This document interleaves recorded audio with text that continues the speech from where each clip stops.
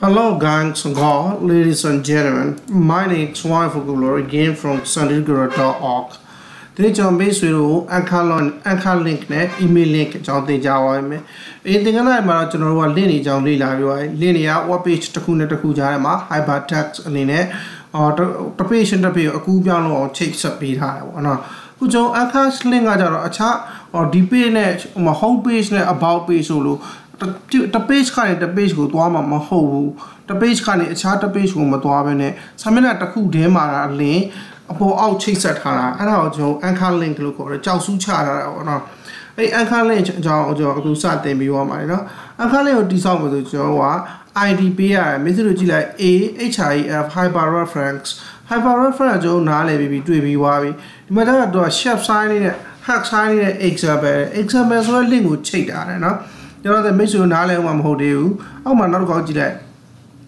ကျွန်တော်85 tag နဲ့မိတ်ဆွေတွေ့ရလိမ့်မယ်ပြီးရင် A link tag နဲ့နော်85 tag A ဆိုတော့ id x equal to example နော်အဲ့တော့ id က example ပေါ့နော်အဲ့တော့ဒီမှာမိတ်ဆွေတို့ကြည့်နေနေရှုပ်လိမ့်မယ်ကျွန်တော်ကဒီအောက်က ID ကိုကြည့်လိုက်ရင် example အဲ့ဒီ ID ရှိတဲ့ example ကိုအပေါ်က HREF ကသွားလိမ့်မယ်နော် okay လောတဲ့ message တဘောမပေါ့ဘူးပပူနဲ့ကျွန်တော်တခြားရှင်းပြရမယ်အဲဒါကြောင့်ဘယ်လိုလုပ်ကြည့်မလဲဆိုတော့ ဒီ website ကျွန်တော်စာရိုင်းနည်းနည်းယူဖို့ဒါပေမဲ့ရှင်တို့ပြလို့ရအောင်เนาะဟော Kepler Kepler 1 of Kepler 45 okay နော်ကဘာနဲ့တူတဲ့ချူအဲ့တော့ကျွန်တော်က desktop ဘောတစ်ချက်သွားလိုက်မယ် this PC desktop ဘောတစ်ချက်သွားကျွန်တော်အလုံးလုံးနဲ့ file နဲ့ဝင်ပြီးတော့ software ကိုတစ်ချက်သွားမယ် notepad++ ကိုဖွင့်မယ်ဖွင့်လိုက်ရင်ကျွန်တော်ဒါအဟောင်းပေါ့နော်တင်ကန်းသားအဟောင်းအာ no ပြီးရင်ကျွန်တော်ဒီမှာလာပြီးတော့ HTML ဖွင့်အာအရင်ဆုံး dot type ချိန်ကြမယ် doc.type dot type html ဘောနော်ပြီးရင် html ဖွင့်ပြီးရင် html အပိတ်ပြီးရင်အဲ့ထဲမှာကျွန်တော်ပုံမှန်လုပ်နေကြအတိုင်းပဲ hashtag အဖွင့် hashtag အပိတ်ပြီးရင်ကျွန်တော်က title tag အဖွင့်ပြီးရင် title tag အပိတ်ဒါလုပ်နေကြလုပ်ငန်းတွေလေနော်ဒီခေါက်ကျွန်တော်လိလာမှာ an chor anchor link နဲ့ email email link တို့အကြောင်းလေ့လာမှာ ပြီးရင်ကျွန်တော် body tag အဖွင့်ရှိမယ်အဲလိုပဲ body tag အပိတ်ရှိမယ်ပုံမှန်ထည့်နေကြအတိုင်းကျွန်တော်မီတာချဆက်တော့ထည့်မယ် MET D မီတာ CRSCD ချဆက်ကို UDF ဖိတ်ထားမယ် UD UDF-8 ထားလိုက်ပဲပြီးရင်ကျွန်တော်ပိတ်ထားမယ်ပြီးရင်ဒီ HTML ရဲ့ language ကို LAG ကိုကျွန်တော်တို့ကမြန်မာထားလိုက်ရတယ် English US ထားတယ် okay နော်အဲ့တော့ language ကိုကျွန်တော်တို့ကလာပြီးနှိပ်ပြီးတော့ HTML ပြောင်းထားမယ်ပြီးရင်သူ့ကိုကျွန်တော် save မယ် desktop ပေါ်မှာကျွန်တော်တို့တွားမယ်ပြီးတော့အလုပ်လုပ်နေတဲ့ word design code ဆိုသွားမယ် lesson ကိုသွားမယ်သင်ခန်းစာ010ပေါ်တန်းဖြစ်သွားတယ်နော်ပြီးရင်သူ့ကိုကျွန်တော်က ANC ဆိုတာ anchor underscore link and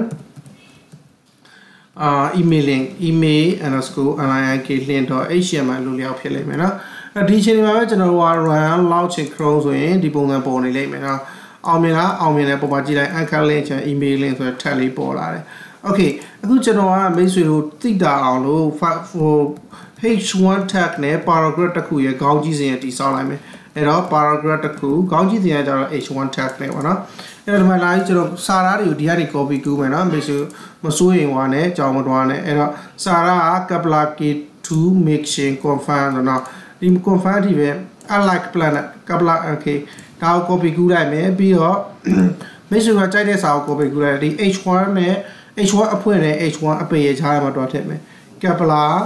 foot 104 outline planner အဲ့ဒါလေးပဲထားလိုက်မယ်နော် C ဆိုပြီးတော့အဲ့တော့ကျွန်တော်က H1 H1 tab အဖွင့် H1 tab အပိတ်ကြားထဲမှာဒီကောင်ကိုထည့်လိုက်တဲ့အတွက်ကြောင့်တကယ်လို့ဒီချိန်မှာ run ကြည့်လိုက်ရင် heading tab တစ်ခုပေါ်လာမယ် okay နော် okay ရပြီဆိုကျွန်တော်နောက်တစ်ဆင့်လုပ်မယ်နောက်တစ်ဆင့်ကကျတော့ကျွန်တော် body စာသားတွေကိုတော့ထည့်မှာအဲ့တော့စာသားတော့ထည့်မယ်ဆိုကျွန်တော်ဆုံးမ website ကိုပဲလာမယ်ဒီစာသားကိုကျွန်တော်အားလုံးကူးချလိုက်မယ်ဒီကစာပိုက်တစ်ပိုက်နော်အဲ့စာပိုက်၄ပိုက်စာပေါ့အဲ့တော့စာပိုက်၄ပိုက်စာဆိုမကူးချတဲ့ခင်ကျွန်တော်စာပိုက်၄ပိုက်လောက်တော့လောက်ရမယ်တစ်ပိုက်နှစ်ပိုက်သုံးပိုက်၄ပိုက် paragraph အဖွင့်ပိတ်တစ်ခုစီကစာပိုက်တစ်ပိုက်စီကိုကူသားပြပါလေနော်အဲ့တော့ပထမစာပိုက်ကိုကျွန်တော် copy ကူးလာမယ်ပြီးတော့ပထမစာပိုက်တွေထည့်လိုက်မယ်ဟုတ်ပြီနော်ဒုတိယစာပိုက်ကို copy ကူးလာမယ်ပြီးရင်ဒုတိယစာပိုက်တွေထည့်လိုက်မယ် ပြီးရင်တတိယစာပိုက်ကို copy ကူးလာမယ်ပြီးရင်တတိယစာပိုက်တွေကိုထည့်လိုက်မယ်ပြီးရင် storer server ကို copy ကူးလာမယ်ပြီးရင် storer server ထဲကိုထည့်လိုက်မယ်နော် okay ကျွန်တော်စလုံးနည်းနည်းတီးလိုက်မယ်မိတ်ဆွေတို့မြင်ရရှင်းအောင်လို့နော်ပြီးတော့အာ paragraph အဖွင့်ပိတ်ကိုဒါလေးထားလိုက်မယ်အဲဒါအဲတိုင်းထားလိုက်မိတ်ဆွေတို့ပို့ရှင်းပြီဟုတ်ပြီနော် paragraph အဖွင့်အပိတ်တစ်ခုပြီးရင်ဒီမှာလည်း paragraph အဖွင့်အပိတ်တစ်ခု paragraph အပိတ်ကိုကျွန်တော်အောက်ဆင်းခိုင်းမယ်ဟုတ်ပြီ ပြီးရင်ဒီမှာလည်း paragraph အဖွင့်အပိတ်တစ်ခုဟုတ်အဲ့ဒါခေါက်မယ် paragraph အဖွင့်ဒီမှာကျတော့ paragraph အပိတ်နော်အဲ့လိုပဲဒီမှာလည်း paragraph အဖွင့်ပြီးရင် paragraph အပိတ်ပေါ့နော်စေးလိုက်မယ်ပို့ပြီးသေးလိုက်အောင်ပဲမိတ်ဆွေတို့မြင်နေတိုင်းပဲဒါ h1 ထပ်ဒါ paragraph တစ်ခုဒါက paragraph တစ်ခုဒါက paragraph တစ်ခုဒါက paragraph တစ်ခုနော်အားလုံးကိုကျွန်တော်စေပြီးတော့ run launch chrome ကို run ကြည့်လိုက်ရင်ဒီလိုတွေ့ရလိမ့်မယ် paragraph ၄ခုနဲ့နော် okay အဲ့တော့ကျွန်တော်ကအဲ့လိုမျိုးဟို copy စက်တိုက်ထပ်ကူးချလိုက်အောင်မယ်နော် paragraph ၄ခုနောက်ထပ်၄ခုဆိုတာ paragraph တွေအားလုံးကူးချလိုက်မယ် copy ကူးအောက်မှာလာထားလိုက်မယ်ဒါဆိုစာပိုက်ကရှည်သွားမှာပေါ့နော် run launching chrome ဆိုရင်စာပိုက်တော်တော်ရှည်သွားပြီဟုတ်ပြီနော်အဲ့စာပိုက်အရှည်ကြီးတစ်ခုလုံးကျွန်တော်ထပ် copy ကူးချမယ်မိတ်ဆွေတို့မရှုပ်သွားနဲ့နော်ကျွန်တော်အပိုင်းပိုင်းခွဲထုတ်တယ်နော်မှန်နော် H1 အစကနေပြီးတော့ဟိုးအောက်ဆုံး paragraph အဆုံးထိကိုကျွန်တော် copy ကူးချတယ်ပြီးရင်ဒီမှာလာပြီးတော့ အာနောက်ထပ်တစ်ခေါက် save paste လုပ်ပြီးတော့ save ချလိုက်တယ်နော်အဲဒါကျွန်တော် run ကြည့်လိုက်ရင်အာ launching chrome မှာ run မှာကျွန်တော် run launching chrome ဒါဆိုကျွန်တော်ကအပေါ်မှာ heading tag နဲ့စာပိုက်တွေရှင်းပိုက်ပါတယ်ကောအောက်မှာ heading tag နဲ့စာပိုက်ရှင်းပိုက်ပါတယ်ကောဆိုတော့အဲ့လိုနောက်တစ်ခုထပ်ကူအောင်မယ်နော်ဟုတ်ပြီနော်နောက်တစ်ခုထပ်ကူမယ်ဆိုတော့ h1 ထပ်အဖွင့်ရနေပြီးတော့ဟို paragraph အဆုံးထိ copy ကူးချပြီးရင်ကျွန်တော် enter ခေါက်လိုက်မယ် စေးလိုက်မယ်ပြီးရင် round launching chrome လို့ကျွန်တော် run ကြည့်လိုက်မယ်ဒါဆိုရင် Kepler 45တစ်ခုနှစ်ခုကျွန်တော်အောက်ကိုဆွဲချရဲသုံးခုတွေးလိုက်မယ်အဲ1 2 3ရှင်းဝအောင်လို့ကျွန်တော်က1 2 3တွေတွတ်တက်မယ် h1 ထပ်ပါနော် h1 ထပ် planet ဆိုပြီးတော့သူ့တော့1လို့ပြောလိုက်မယ်အောက်မှာလည်းနောက်ထပ် h1 တစ်ခုမှာလည်းသူ့အာ2လို့ပြောလိုက်မယ်ပြီးရင်နောက်ဆုံး h1 တစ်ခုမှာသူ့3လို့ပြောလိုက်မယ်အဲ့တော့ mixture 3ထားမှာကျွန်တော်တို့မှာစာစာပိုက်3ပိုက် ဟော heading 3ခုပါတဲ့စာပိုက်တွေရှိတယ်အဲ့တော့ heading 3ခုကဘာလဲ Kepler 104 at like planet 1ရယ် Kepler 104 at like planet 2ရယ်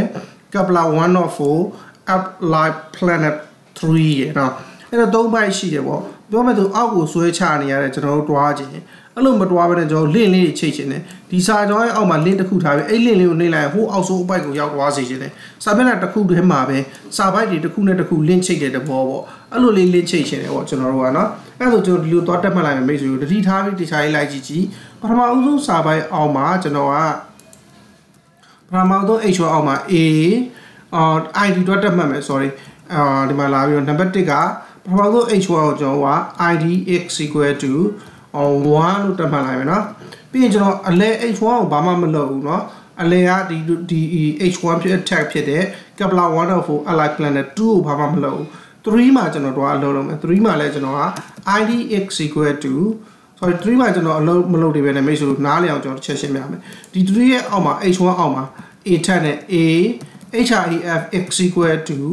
1ကိုသွားမယ်လို့ပြောရှေ့က id ကိုချိန်မှဖြစ်တဲ့အတွက်ကြောင့် hash sign လေးထည့်တယ်နော် 1ကိုသွားမယ်လို့ပြောမယ်ပြီးရင်ကျွန်တော်က go to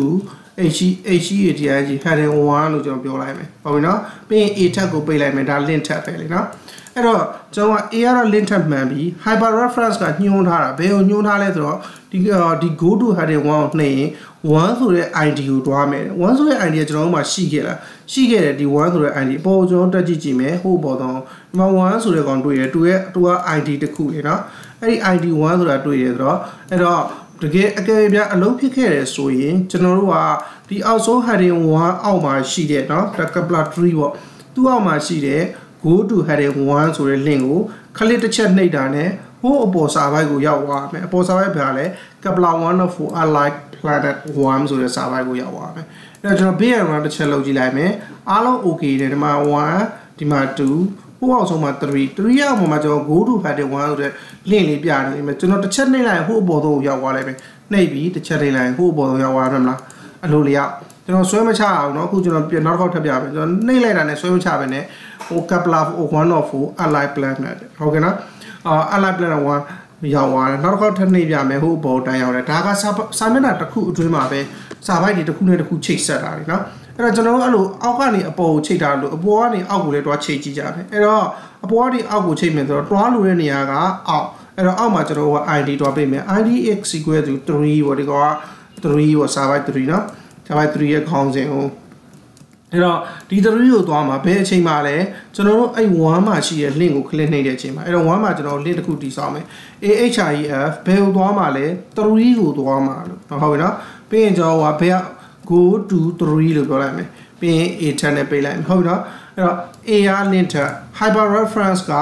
အာသွားမဲ့လမ်းကြောင်းပေါ့နော်ဘယ်ကိုသွားမှာလဲ3ကိုသွားမှာ3ကရိုးရိုး3လားမဟုတ်ဘူးအရှိမ half sign လေးပါတယ်သူကအာ ID ကိုညွှန်းတာ ID3 ကိုသွားမယ်တဲ့ ID3 ရှိလားကျွန်တော်တို့ရှာကြည့်လိုက်ရှာကြည့်လိုက်ရင် ID3 ကအောက်ဆုံးစာပါရဲ့ခေါင်းကြီးစဉ်ဖြစ်တဲ့ H1 ထက်က ID3 ဖြစ်နေအဲ့ကိုသွားလိုက်မယ်အဲ့တော့ကျွန်တော်စစ်ပြီးတော့ B and run ကို run ကို Chrome မှာလာလုပ်ပြမယ်အဲ့တော့1ရဲ့အောက်မှာ go to 3လို့ပြောနေတယ်အဲ့တော့ go to 3ကိုကျွန်တော်တစ်ချက်နှိပ်ချလိုက်ရင်ဟိုအောက်က3စာမြတ်3စာပိုက်ကိုရောက်သွားတယ်အဲ့3မှာကျွန်တော် go to 1ဆိုပြီးတစ်ချက်နှိပ်လိုက်ရင်ဟိုအပေါ်ဆုံးက1ကိုရောက်သွားတယ်ဒီလိုစာမျက်နှာတစ်ခုအတွင်းမှာပဲဘင်ညာချိတ်ဆက်နေပြီးတော့အပေါ်အောက်ချိတ်ဆက်ပေးထားတာကို anchor link လို့ခေါ်တယ် anchor link နဲ့ကျွန်တော်တို့ပုံမှန်သုံးနေကြ hyperlink နဲ့တွဲလို့ရတယ် ဟုတ်ပြီနော်ဒီထိမိတ်ဆွေတို့သဘောပေါက်တယ်နော်တခြားပြန်ကြည့်လိုက်ရင်ကျွန်တော်ကဒီမှာစာပိုက်၃ပိုက်ထားထားတာလေဩဒါတိတ်လည်းမကန့်စာပိုက်တစ်ပိုက်အာခေါင်းကြီးစင်တယ်နော်ခေါင်းကြီးစင်၃ခုပြောတာဒီမှာခေါင်းကြီးစင်နောက်တစ်ခုပြီးရင်ဒီမှာခေါင်းကြီးစင်နောက်တစ်ခုရပြီနော် okay ဒါမဲ့ဆိုနားလည်မယ်လို့မျှော်လင့်တယ်ကျွန်တော်တို့က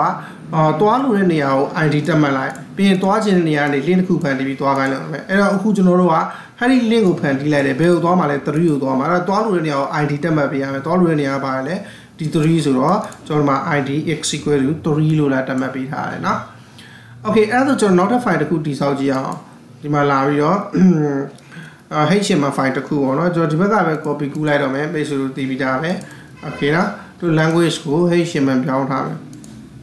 ပြီးရင်ကျွန်တော်ဂျားထဲမှာဘာမှမရှုပ်နေအောင်အကုန်ဖြတ်မယ်အာ body tag အထိပဲထားမယ် Okay ဖြတ်လိုက်ပြီအဲ့တော့မိတ်ဆွေတို့မြင်တဲ့အတိုင်းပဲ HTML ပုံမှန်တိုင်းပဲเนาะ body tag လေးပဲပုံမှန်အဲ့တော့ဒီစာမျက်နှာကိုကျွန်တော်စေ့မယ်စေ့တဲ့ခါကျရင်ကျွန်တော်က011 underscore a n c h y anchor link and email email link helper လို့ HTML ရ helper လို့เนาะ တော့ HTML ပေါ့ရပြီအဲ့ဆိုကျွန်တော်ဒီစာမျက်နှာ